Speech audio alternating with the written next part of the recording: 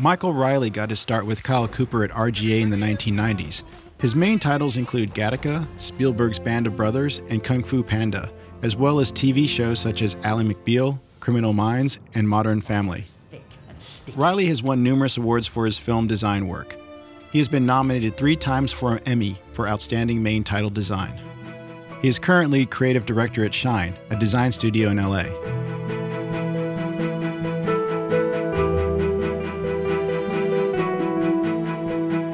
You know, there are certain elements of, of the old school production methodology that, um, that sometimes I'm a little bit nostalgic for. You know, I used to love film. Um, you know, all the first title sequences that, that I, I had the opportunity to work on, you know, they were all done on an animation stand and composited optically. You know, to a certain extent, you know, those were kind of like golden handcuffs because, you know, if you did something once and you wanted to change it, it was A, very time consuming, B, really expensive, C, involved a lot of people and a lot of late nights. And now, you know, that you have your, the, all the power just on a laptop, you can just change it yourself, which I love. It's totally liberating.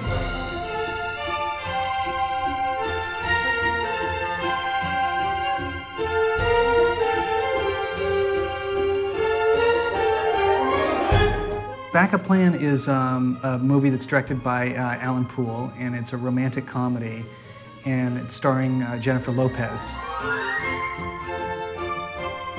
And she plays a woman who very much uh, wants to get pregnant.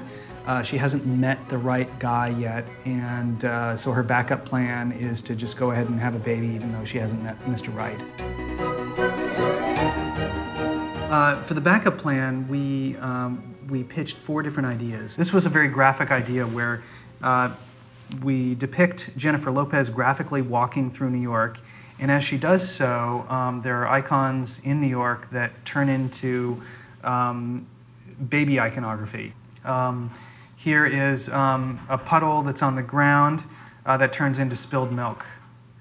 Um, here are some signs um, that say Park Avenue, uh, Greenwich Avenue, it turns into um, a baby crib. When the director looked at this idea, he said, It looks too cold, it looks too graphic, it's too stylized. He said, I want to set up the audience for a romantic comedy. So um, we took kind of took a step back and we said, you know, what, what can we bring to this idea that would somehow make it more fitting for the movie? And we found an illustrator, his name was Nate Ragg, and we asked him to do some illustrations, and that was kind of what solved the creative challenge for Alan. He looked at it and said, you, you, know, these illustrations to me have the right kind of fun to them. They're graphic, and he said, he said, I can foresee that we can come up with a lot of really fun scenarios that would tell the story.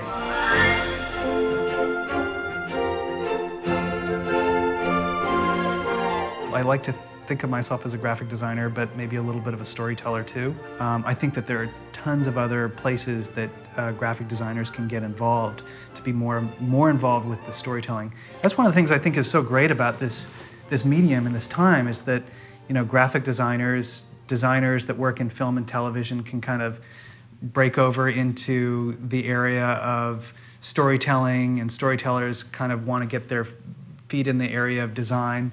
I would love to do a film at some point. Um, I, you know, a lot of times I feel like, uh, you know, if you're working on a commercial or if you're working on a, a uh, an animated title sequence, sometimes you're telling a little bit of a story or you're, you're kind of getting your feet wet as a, a storyteller. Um, I think that um, I, I, think that more and more design is going to go the route of, of of uh, allowing designers to be storytellers, and uh, and I, I would love to do more of that.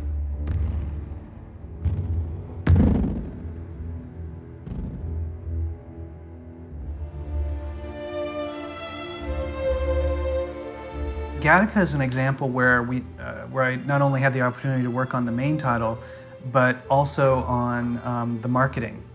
And uh, Andrew Niccol, um, who was the director, really had the vision for this movie and really uh, had also a vision for the marketing.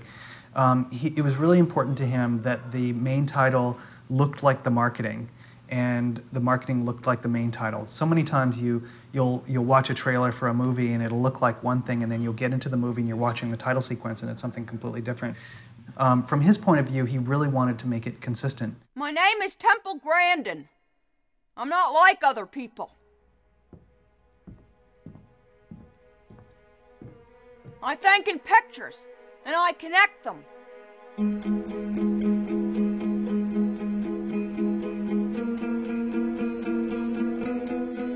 This is a main title for uh, Temple Grandin that we did for HBO.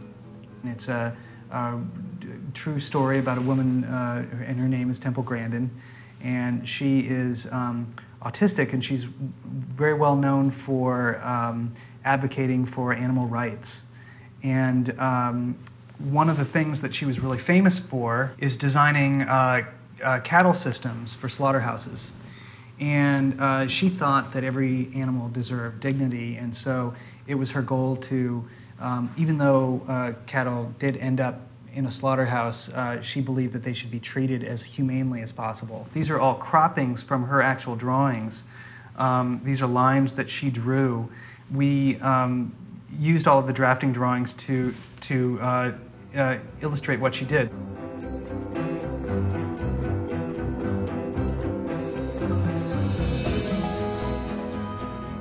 We presented several ideas. We also presented this idea here where um, we used little bits and pieces from her scrapbook. She had a scrapbook where she um, took down visual notes.